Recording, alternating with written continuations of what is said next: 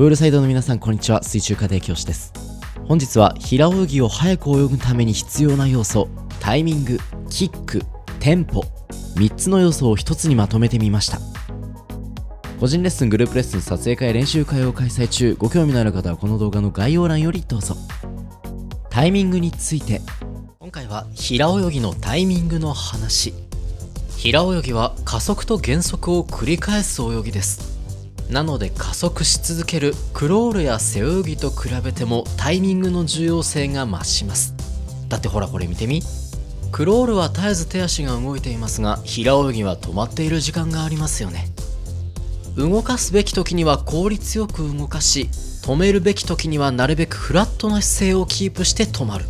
でもねクロールと背泳ぎと違って泳ぎっぱなしじゃない動かしっぱなしではない何もしない時間があるからこその平泳ぎのリラックス感なんだと思います。より早く平泳ぎを泳ぐためのタイミングについて説明。腕と足のタイミングを近づけるメリット。ワンストロークの時間短縮。テンポが上がる。体が沈む時間を短縮できる。タイミングが勝ち合うと泳いでいて気持ちいい。このメリットにより先ほどのバラバラ平泳ぎのデメリットを打ち消せます。スピードを出して泳ぎたいのなら速いテンポが必須です。バラバラに泳いでワンストロークでどれだけ進もうとその間に隣で3ストロークされてしまったら負けます。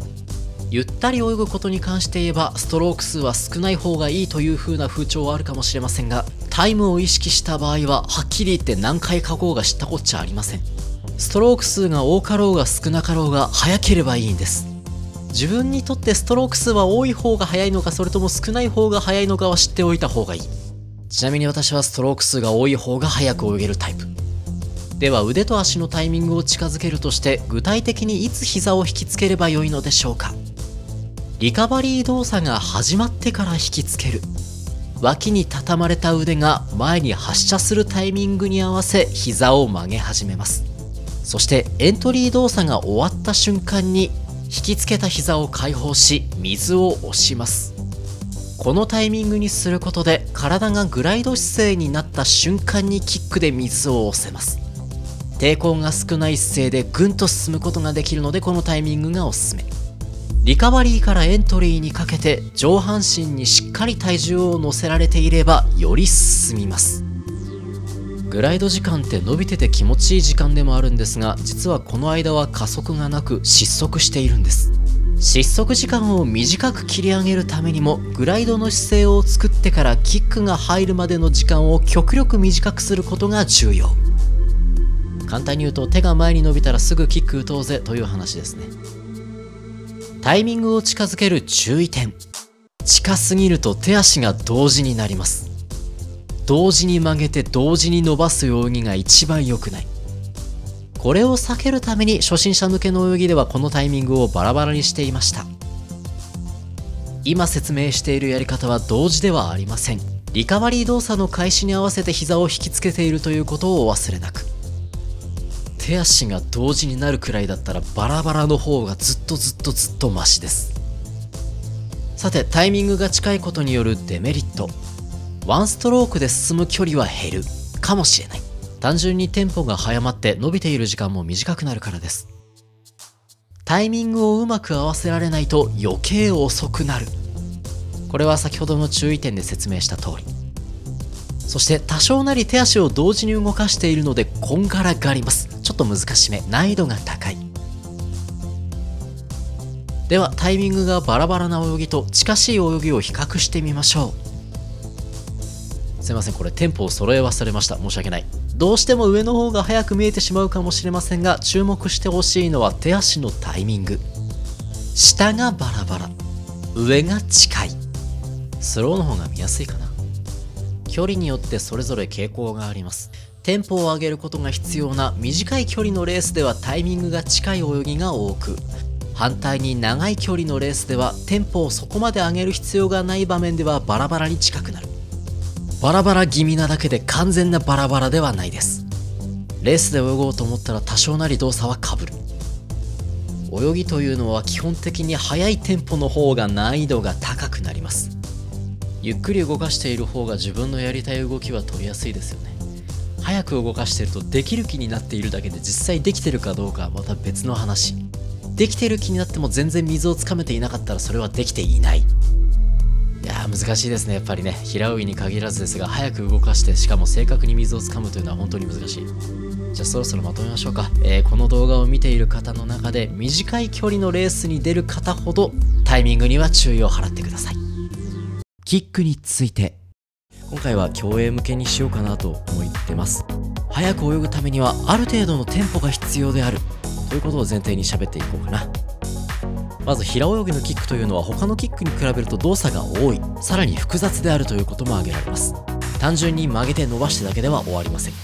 他のキックが縦の動きだとしたらイメージ平泳ぎのキックは縦の動きにプラスして横の動きも入っているようなそんな感じ。ほらあのバタ足とかドルフィンキックだったらあの曲げてそのまま蹴り下ろせば終わりじゃないですか。あ違います。あの決してあの悪く言うつもりはないんですよ。それはそれで多分細かい動作とか難しいことはあるんだけどそもそもの動作全体を考えた時におそらく平泳ぎの方が難易度は高い。じゃあある程度平泳ぎの動作を体得して進むことができるようにはなりました。でもこれだけでは速く泳ぐことは難しいですね。なぜならそのキックはテンポが上がっていない可能性があるから。皆さんクロールを早く泳げと言われたらどうします？手はゆっくり動かしますか？バタ足もゆっくりにしますか？多分だけどゆっくりにしないですよね。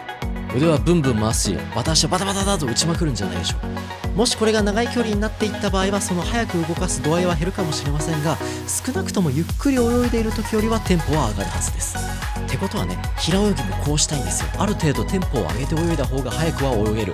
早くは泳げるんだけどそこがクロールとかスパセル背泳ぎとかバタフライとちょっと違うところで平泳ぎの場合はタイミングというとてもシビアな問題があります。他の種目だったらねほらバタ足黒手を打にしてようがバタ足を打ち放題だしバタフライだって第1キック第2キックどこで打とうがあれ実は自由ですから。タイミングがずれることによってこんなに影響が出るのって平泳ぎだけなんじゃないでしょうか。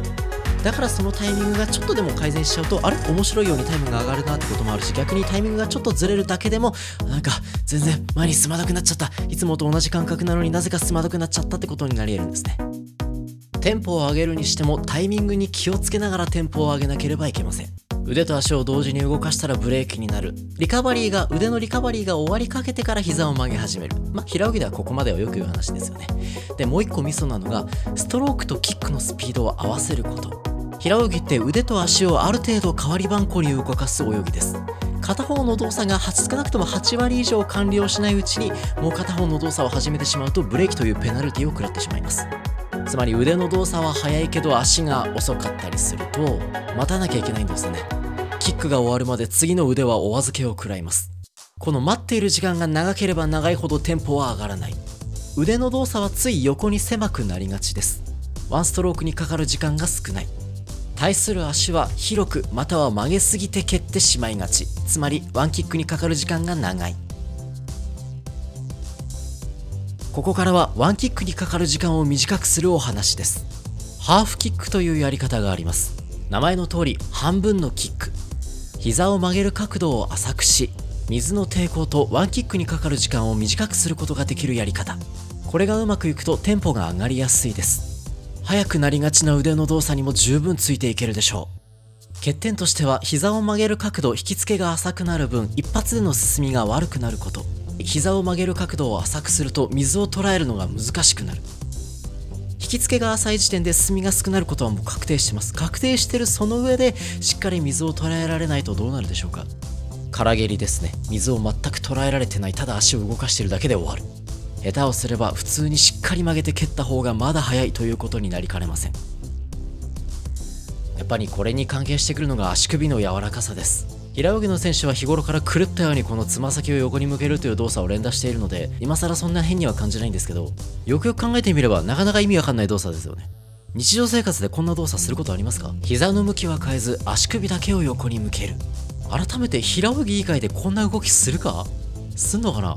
あなのかの動作でするかもしれないですけどちょっと今のところ思いつかないですね。何が言いたいかというと日常的に馴染みがない動作を水中で行っているということです。陸上ですらできていない動作を水中でできますか？陸のように地面というしっかりとした支えがある状態ではなく水という不安定な中であの動作ができますか？いつも言うようですが水中でやる前にまず陸上でこの動作ができるようになった方がその後の平泳ぎの上達上達も早いと思います。でここからはさらにそれが水中でできるようになったという前提で話しますね。もうお分かりかもしれませんがこのハーフキックがおすすめな方は短距離の選手。そして腕で進むことをメインとしている選手。この2つは別々なようで実は結構つながっています。距離が短ければ短いほどたくさん書いた方が有利になりやすい。たくさん書くためには動作のスピードを上げなければいけない。そこでハーフキックが役立ちます。平泳ぎの動作は腕から始まります。もし特別なこだわりがないのであれば腕でリズムを取ることをお勧めします。先ほども言いましたが腕の動作は足のそれに比べると早く動かしやすい。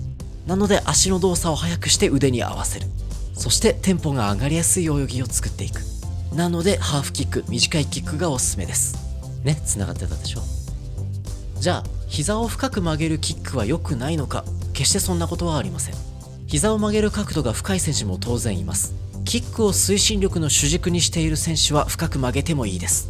距離によりますかね距離が長くなればそれに応じて膝の曲げ加減も深くなっていく印象です。ほら2ブレとかはねそこまでテンポいらないっていう場面があるじゃないですか。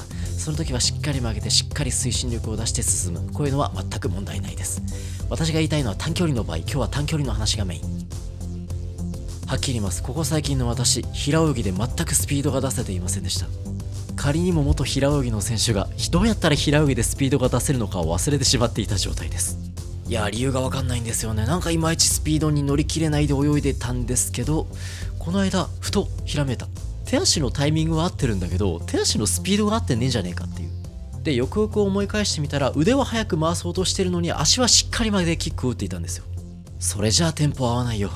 閉じるか閉じないかギリギリの瞬間にストローク動作腕の動作を開始したいのにその足がいつまでたっても閉じてくれない。それを待っている時間があるわけですからテンポは上がらない。それを解決してくれたのが今回言ったこのハーフキックでした。引き付け動作膝を曲げる時間を短くする。そうすることによって動作全体のスピードが上がる。そうすると腕のスピードと足のスピードが一致して結果的に泳ぎ全体のテンポも上がる。おかげさまで久々に気持ちいい平泳ぎが泳げました。いや冗談抜きで何ヶ月ぶりだろう。いや何年ぶりだろうってぐらいのハマり具合だった。嬉しかったから動画にした。まあ、話を戻しますと今回はキックにかける時間を短くするためのハーフキックについてでした。短い距離でタイムを出したい。推進力の主力は腕。この2つに当てはまる方は特にハーフキックのやり方をお勧めします。ただねこれも最初の方に言ったと思ってるんですが最低限普通の平泳ぎで進むことができなければ引き付けを浅くするとただ単に進みが悪くなってそれで終わってしまいます。難しいですが段階を経て導入することをお勧めします。こんな感じのフローチャートはいかがでしょうか？まず陸上で普通のキック動作ができるようにする。水中で普通のキック動作ができるようにする。それから引き付けを浅くしテンポが上がるキックを作っていく。ここまで見たそこのあなたおそらくこう思ったでしょう。そんな簡単にできたら苦労しねえよ。いやほんとその通り。テンポを直すためのドリル。本日もマニアックな平泳ぎドリルの解説ですおそらくスピードアップしたい人にしか届かないんじゃねえかなと思ってますけど構わずやっていきます。ヘッドアップと併用も可能。地獄の苦しみをあなたへ。バタ足平泳ぎ。バタ足平泳ぎをやる目的。1テンポを上げる。ワンストロークごとにグライドといっても足が動いてるな。腕が前に伸びている時間を長く取るのはもったいない。バタ足でスピードが出ている中連続してストロークを行いテンポを上げた中でも水をしっかりと掴んでストロークにつなげていく練習に。2フラットな姿勢をキープ。余計なうねりを排除します。このことによりテンポアップにもつながる。バタ足平泳ぎやってるとわかると思うんですけど潜りすぎるとバタ足のリズムが狂います。したがって姿勢はフラットのまま泳ぐ必要が出てきます。